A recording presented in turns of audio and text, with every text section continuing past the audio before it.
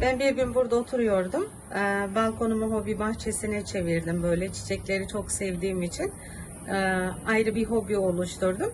Oturdum balkonda keyif yaparken, kahvemi içerken e, çiçekleri sulamaya kalktım. Baktım çiçeklere su verirken bir tane kumru konmuş. Suyu döktüm. Bir kalktı o anda bende bir ürkme oldu. Bir panik yaptım. Bir de baktım ki orada iki tane yumurtaları var. Üç yıldır e, geliyor iki tane her yıl ikişer, ikişer tane altı tane yavru oluşturuyor. E, ondan sonra onları büyütüyor.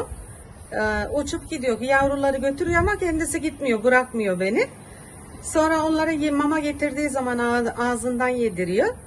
Ben balkonda otururken bana diyor ki guk guk guk yapıyor git içeriye git ben yavruma mamasını yedireceğim diyor.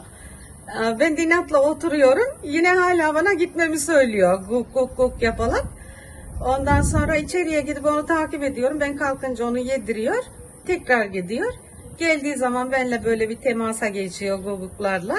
Ee, Bilmiyorum çok mutlu oluyorum. Evimizin bir tanrı misafiri. Ee, Güzel bir duygu. Çiçeklerimle beraber onu izlemek beni çok mutlu ediyor. İki tane balkonumda da iki tane kumrum var. Biri bir yıl oldu geleli. Bu üç yıldır benimle beraber burada yaşıyor. Yaz kış beni bırakmıyor. Gördüğünüz gibi burada da bir tane kumrum var ama şu anda dışarıda gezinmeye çıkmış. Bazen tabii hep yatmaktan sıkılıyor kuşlar. Kendisini doyurmak için mama amaçlı. Ben ne kadar yem verip beslesem de onlar illaki doğadan almayı seviyorlar. Burada da bir tane yumurtası var. Onu da göstereyim size. Bir tane yavrusunu çıkarmış. Bunu da çıkaramamış galiba. Ee, tekrar işte yavruları büyüdükten sonra tekrar geliyor buraya iki tane yumurta yapıp onları büyütüp yavrularını götürüyor, uçurmasını öğretiyor, kanatlarını öğretiyor, uçmasını öğretip gidiyor. Ee, ama kendisi beni bırakmıyor.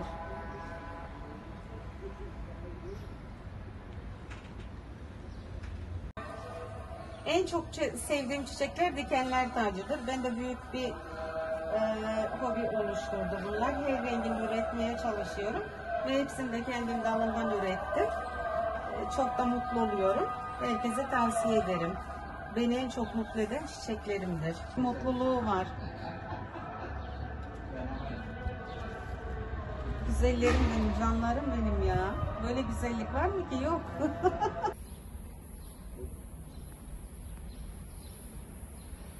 Bir de onun için her yıl bir tane